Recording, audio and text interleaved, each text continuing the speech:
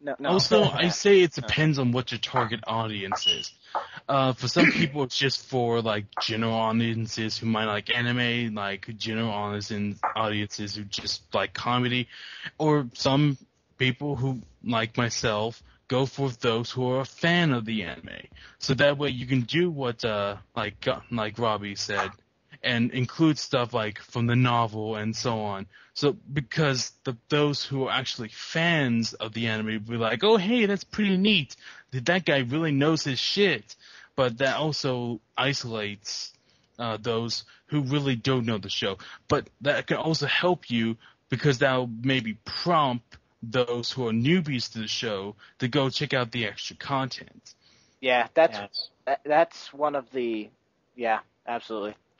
Yeah, And like one of the uh, but one of the weirder issues on it is that uh, like uh, there's you know usually you're going to get uh, two audiences people who are major fans of the shows or people who are fans of abridged series in general. And you're saying you should label it as a parody if you're not just if you're not going to really follow the series that much. But uh, no, I think mean, that if- uh, as if- far as what fan base you're trying to reach it's so, sort of the reverse. Yeah, I, I think that the putting the label abridged on it totally is a separate issue, but yeah, yeah, that that, that that is, should that be is. covered sometime else. uh, But- it didn't I believe the TAC podcast already covered that, didn't they?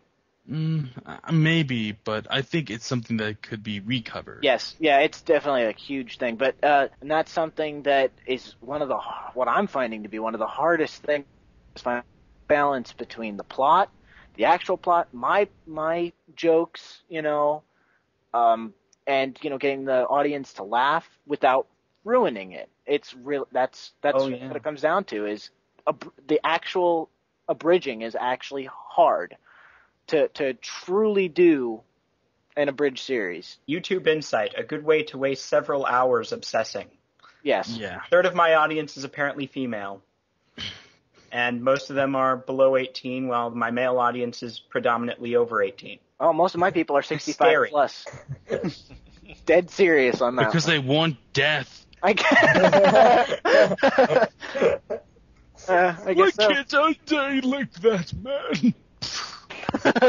And obsessing over your audience, you might find out way too much, way much more than you want to know, and uh, lose sight your own humor because you are kind of.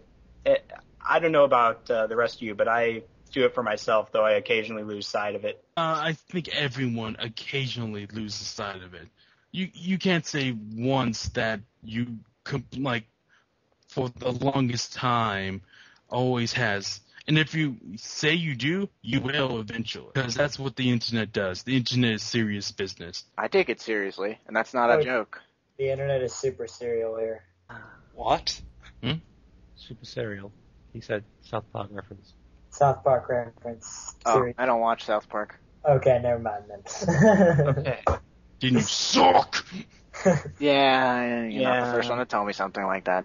Well, you could have found that out if you just watched enough of Al Gore, but Anyways, um, I think that'll probably be all for now. So I want to thank everybody again for dropping by for the podcast. No yeah, problem. Sure. yes, thanks for having Ray. Anytime. I have no life, as you can tell. Uh, I, I, I, I'll I've go, pretty much made that clear.